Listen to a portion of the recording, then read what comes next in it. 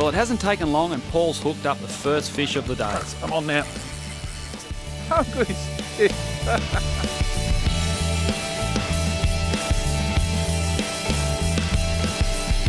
never caught a decent bread and I still haven't yet. so you what, you don't want to come in? Yeah, you can Paul's definitely hooked up on a nice sized red. Snapper are bottom dwellers and tend to feed over rough reef and across gravel beds. They respond extremely well to burley and when hooked they run hard and deep providing a tough fight. With a characteristic double shake of the head before each run, you'll know when you've hooked a snapper. Oh, look at that. Cook's got one with a lump on its head. Woohoo! Mate, that's a personal best. It's my personal best is about as big as his tail. How good is that? Firmly there. That's my first ever snapper that's been legal. All the rest of it, I had to chuck them back 29 centimetres. And look at that beauty. Only been here about, I don't know, 10, 15 minutes and I'm into one. That's beautiful. Now the rig that we're using today to drift for snapper in 30 to 60 metres of water is really simple. It's a number 5 ball straight down onto a, a 3 or a 4 0 circle hook. And remember we are on the drift so you need a little bit of weight. A simple way to put it on is just simply go through the side of the pilchard, pull the hook right through, come down to the middle of the pilchard, do the same, pull the hooks all the way through, come over the top again, and then just drop the hook in. And turn it so it lays flat along the side of the pilchard. And then just pull your, your loose line up, and then do a half hitch around the tail. Drop the ball sinker down to him. And there you It's go. a simple paternoster rig. Now we've got the paternoster rig uh, on another one of our YouTube clips which will show you exactly how to tie that. It's just a standard snapper sinker with a dropper of about 600 mil up to your hook. Okay, to that we've got a, a number two circle hook and we're just putting beautiful pilchard baits on. A little half hitch around the top works well. So they'll be fished on the bottom. The other method we're using is a floating bait. Now we're going to fish probably a, a half pilly or a whole pilly. What I like to do is go through the eye twice because the, the eye cavity or the bridge across the top of the eye is the strongest part in a pilchard.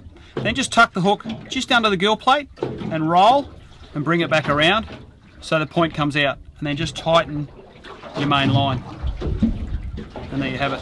And on top of that, we'll just have a small ball sinker. Now that'll float down through that burley that Paul's putting out. In fairly deep water.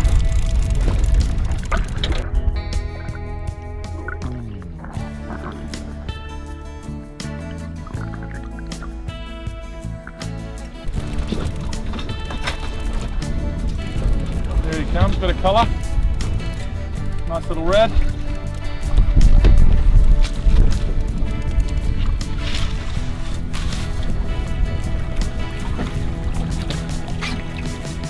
There we go. Oh, she's a beauty. There we go. Nice snapper.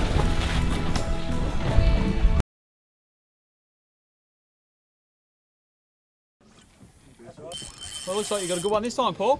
Not yet, mate. It's not in the boat yet, big fella. How was the run on that fish? Oh. That's a big one. He's coming up now. I think he's uh, he might have had enough. I might get over, out of the way. Let me go on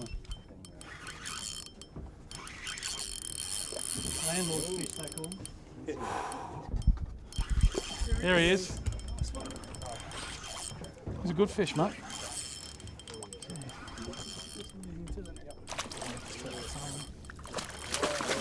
Wow. Oh, that's a personal best, mate. Is it alright if I let this one go? You can do whatever you like, mate. You caught him. Okay, cool. As Terry said, we encourage that, mate. Mate, it's just, bigger fish, just such a beautiful fish. at the spawning time. Yeah. There we go, guys. That's uh, that's absolutely amazing. Try and keep my fingers out their gills there. I want to put this fish back because it's it's just a beautiful creature, and I've never caught anything like that before. Get some pictures of it. That'll do me. Just incredible, isn't it? Okay, let's get him back in. There you go, mate. He's lively, look at that.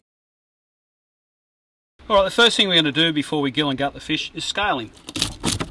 The snapper are really nice to eat with the skin on, I find. Especially if you're cooking a whole fish. So just take your time, working from the tail forward and remove all the scales.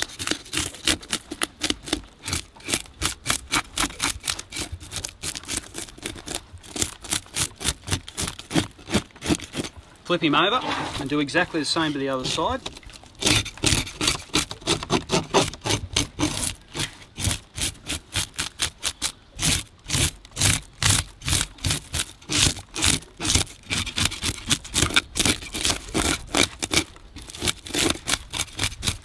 And remember to do under his belly. That's important. And around the front there, his gills. The last spot you do is just at the back of the tail because there's some scales there that get stuck. And on top. Okay, once we've scaled him, we'll give him a good rinse.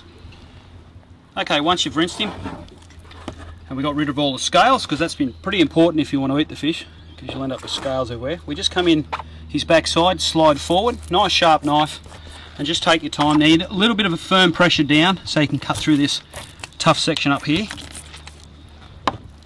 And just hold him up and cut down through here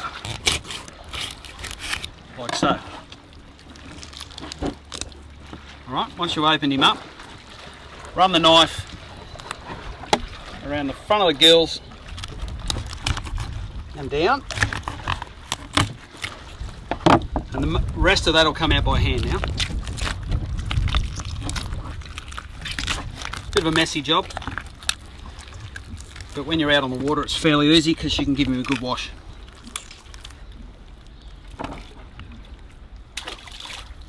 Last thing we do is just run the knife down the backbone and just release any of the blood under that membrane. Now I've given him a good rinse. As you can see, nice and clean in there. Alright, so that fish is ready to cook as a whole fish. It doesn't get any easier than that. Beautiful whole snapper. Now next week remember to tune in for another fantastic clip and remember to subscribe to our YouTube channel. Thanks for watching guys.